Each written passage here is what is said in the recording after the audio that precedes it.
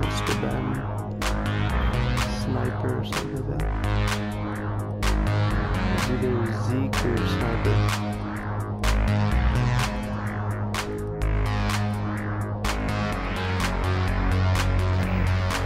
Sniper, yeah, sniper.